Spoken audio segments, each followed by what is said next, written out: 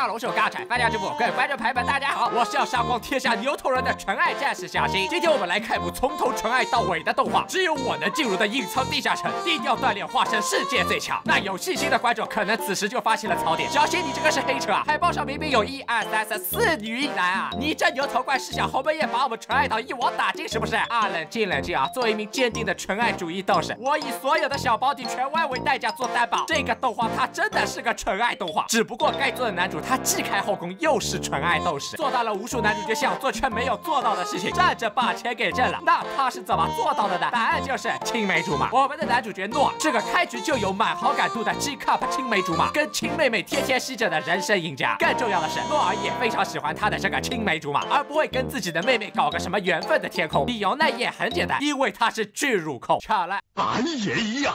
开局就是老夫老妻，这直接让这个动画跳过了青梅竹马绝对不会输的恋爱喜剧一整段，直接进入了总之这就是非常骚的状态。而男主除开这些羡煞单身狗的待遇之外，还是一名贵族。学过初中历史的我们都知道，古代的贵族爵位分为公侯伯子男五个级别，而诺尔家的爵位则是比男爵更低一阶的准男爵。再小的贵族那也是贵族，不关是找个工作还是没啥问题的。于是诺尔刚一毕业，就在家里的安排下找到了一个图书馆管理员的工作。当诺尔准备第一天去上班的时候，他老爹却告诉他：哦，你的这个工作已经被爵位。更高的贵族给抢走了，我是一点办法都没有的啊！要不只能给你儿子跪一个了。面对这突如其来的笑声和失业，诺尔有这么一点点的慌张，因为他原本跟青梅竹马约定好要一起去当图书馆管理员的，现在工作丢了，那岂不是不能跟青梅竹马一起摸鱼秀恩爱了吗？对此，诺尔的妹妹想了个好办法，既然本科毕业找不到工作，那就再读个研呗，而且要读就读好点，你干脆去考传说中的英雄学校，毕业就可以赚大钱住大 house。对于这么不切实际的想法，青梅竹马大致表示赞成，并且还要跟男主一起去考。不过想考归想考。想要考上英雄学校，要么跟大志一样特别突出，要么就跟我这个静安区梁朝伟一样帅。总之得有些与众不同的能力。诺尔虽然是一个战五渣，但他天生就有隔壁门王同款的大贤者技能，可以用它来获得提高战斗力的方法。但这个大贤者技能使用起来有个非常严重的副作用，只要用了，脑壳里就像有十个可莉轮番往你脑浆里炸鱼一般，疼痛难忍。针对男主这样的症状，大吉表示，我爸妈给我说，这种情况呢，神仙难救，得用偏方啊，比如我们亲个嘴什么的。这位姑娘，我觉得你妈妈说的可能不是男主这种症状，而是希望你努力努力，早点抱外孙吧。然而这两人呢，也不是什么正常人脑回路，都觉得哎，这尼玛就非常科学，这就找了个四下无人的天台，酝酿了一波暧昧气氛，就开始。嗯嗯，好兄弟啊，你这动画才第一集第六分钟，就把其他动画完结撒花的事儿给干了。讲道理，现在米饭的进度都没这么快的。杀完单身狗后，男主开启了贤者模式，问大贤者有什么高效快速提升变强的方法。大贤者遥指城外的一处隐藏迷宫，让他去那里的副本升级打怪。诺尔秉承着是男人就下一百层的冒险精神，第二天就来到了迷宫门口，大喊一声：“大胆妖孽！我一眼就看出你不是人！”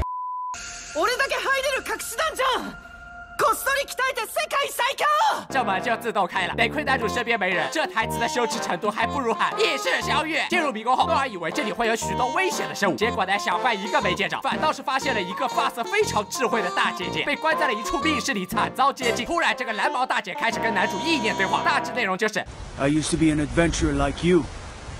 And I took an arrow in the knee。蓝宝大姐娃本来是个超一流的冒险者，但是在探索这个迷宫的时候，不小心踩到了陷阱，啊，就这样被捆绑排练了两百多年。而在这两百年间，连个占他便宜揩油的人都没有。第一次见到的人就是诺尔这么一个小鲜肉。蓝宝一高兴，就给诺尔传授了自己的独门绝技——创作、赋予以及编辑技能的能力。简单概括的话，就是开了修改器的超级外挂。但就像大多数修改器，这蓝绿修改器消耗你正的 W。蓝宝的这套修改器也是需要代价的，这个代价就是需要消耗技能点数 LP 值，而 LP 只能。靠吃饱饭睡好觉低所产生的饭能够吃撑，觉也能睡饱。也就是说，男主变强的最好方法应该是给 LP 里加一个 S。去隔壁动画做评鉴指南。成功的学会修改器之后，诺尔先给自己弄了个异世界主角必选的神器鉴定眼，然后呢就想试试它的威力。这时恰巧碰到青梅竹马又开始抱怨自己的 G cup 弄得他的肩膀酸疼，诺尔就好心的把青梅竹马的大致数据改成了对 A。青梅竹马开心的眼意都冒了出来。总之有了这套修改器之后，诺尔跟右迅冉有惊无险的进入了英。雄学校，但诺尔发现这城里白菜贵族学校的学费显然不是自己这种土猪级别的底层贵族能够负担的。于是男主就想到了去叙利亚。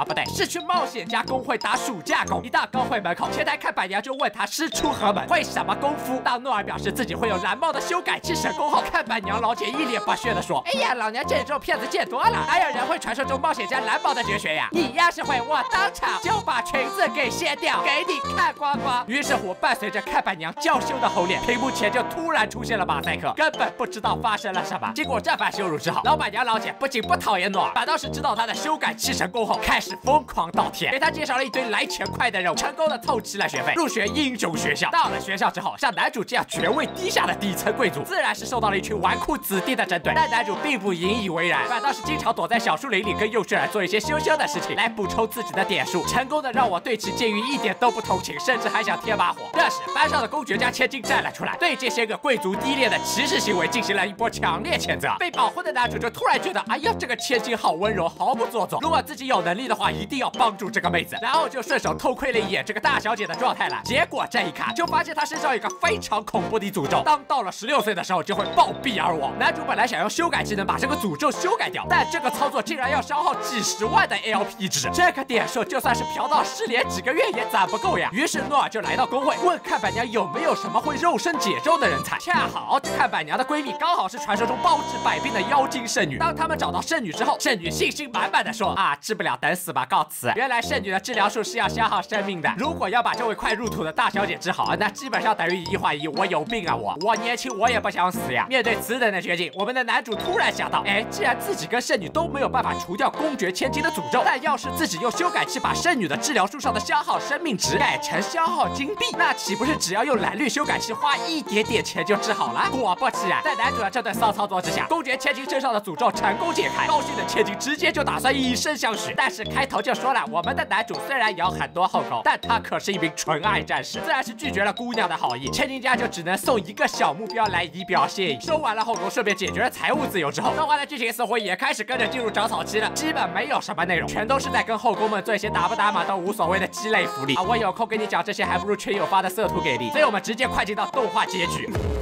我们的男主角现在能有这么好的生活，归根到底都是拜迷宫里的蓝发大姐姐传授他绝世神功所赐。因此，为了报答蓝毛师傅的恩情，男主就一直在攻略迷宫，找出救出师傅的方法。于是，到了倒数第二集，男主终于来到了迷宫的第十五层。这时，男主惊奇的发现，这一层跟囚禁蓝毛的地方长得一毛一样，而且蓝毛师傅也在那里。察觉到异样的男主，立马用鉴定眼看了一眼这个师傅，发现他不是本人，而是困住蓝毛的锁链本体。他把蓝毛师傅所有的技能等级全部复制，做成了一个副本。男主只有打败了眼前的这个假师傅，才能把真师傅给救出来。男主虽然打了十一级的迷宫，但自身的等级跟师傅相比还是差了几百级，根本不是对手。真师傅也劝男主，哎呀，不要怪自己了，以后就好好跟后宫们生活，做个羡煞旁人的人生赢家不好吗？啊，但是我不。于是男主就回到了城里，寻找有没有可以打败假师傅的方法。结果还真找到了一种名为献祭的技能，可以通过献祭其他技能，将自己的战斗力短暂提升到斗宗强者。但这样的伤敌一千自损八百的战术，肯定是不能当做常规战术来使用的。男主就在想找找有没有什么更加亲民的方法，但贾师傅哪会给他机会？没有几天就杀到了门前，要跟男主一决雌雄。最终男主献祭了自己几乎所有的技能，用一记火之高兴孝子剑啊，直接劈到了贾师傅的脑壳上，把他打成了草浆。最终男主成功的救出了师傅，开始了幸福美满的生活。动画就完结撒花。哎呀妈，总的来说我也不知道自己是怎么看完这部动画。仔细想，像他这样剧情比原神还久加的福利后宫向动画，我好像很久都没有看到了。或许是激起了自己的一点怀旧心理。想当年这种动画一个季度起码得有四五部，而自己呢也只是个只要奶子屁股就能看着嘿嘿笑一整天的萌新。也希望大家在这个快节奏、一身励志的时代，偶尔也放平心态，体验一下返璞归真的感觉。毕竟这世道哪有这么多的神作跟烂作？最多的动画就是像你我一样看起来普通，却有这么几个亮点的平庸动画。我是小新，喜欢的观众可以点赞支持一下，我们下期见啦，拜拜。